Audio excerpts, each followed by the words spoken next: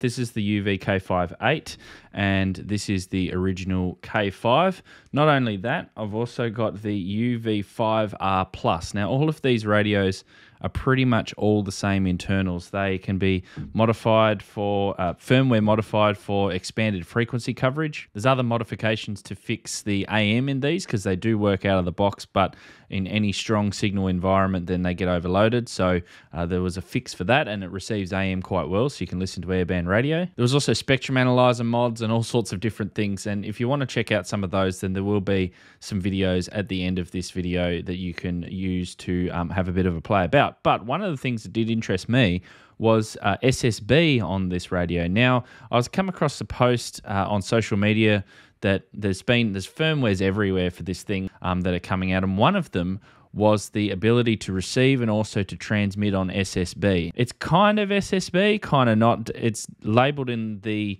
uh, radio as double sideband, and it doesn't sound all that good, but we're going to try it anyway and see how it goes. So basically what it is, is the IJV mod. Loading this mod is quite straightforward. All you need is a browser. You can just open up the link, which will be in the description below, and a programming cable such as this. This is a Baofeng programming cable with the two pin connector. You can get these from Radioddity if you don't have one. Some viewers have had some issues with some programming cables, and I put that down to probably the chip that is in here. Um, it might not be the correct one that you need, but if you uh, get one of these programming cables that looks like this, this is all that I've used. You might need to um, install drivers. Uh, have a look on the Radioddity website, the Baofeng website, uh, and get those drivers if you have any problems. Basically, all you do is you press the PTT button here on the side, push that in, turn the power knob here, and you'll see that the light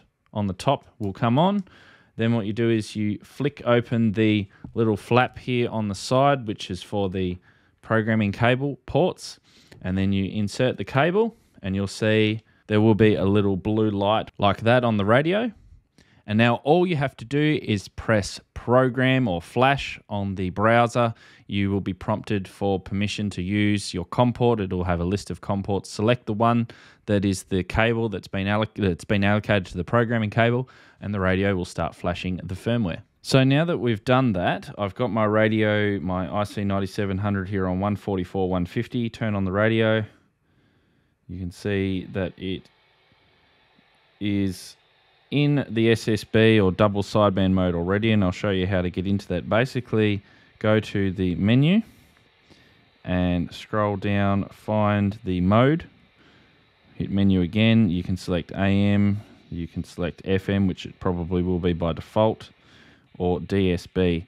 Go to bandwidth, and this will be probably on wide. Select narrow. Uh, there we go, narrow. I'm not sure what narrow minus is but select narrow. Menu item number 54, you might want to set your AGC. You've got slow, fast, or manual. I'm just going to leave mine on fast. You can adjust the steps as well. You can go all the way down to 0.2 kilohertz. So then we can adjust it in very small steps. Okay, 7HH testing 1, 2, 3, 4, 5, 5, 4, 3, 2, 1. Not sure how that sounds. One, two, three, four, five, five, four, three, two, one. Okay, 7HH testing. One, two, three, four, five. One, two, three, four, five. Testing one, two, three, four, five. Testing one, two, three, four, five. One, two, three, one, two, three. Okay, 7HH testing on 144, 150. Testing one, two, three, four, five. Five, four, three, two.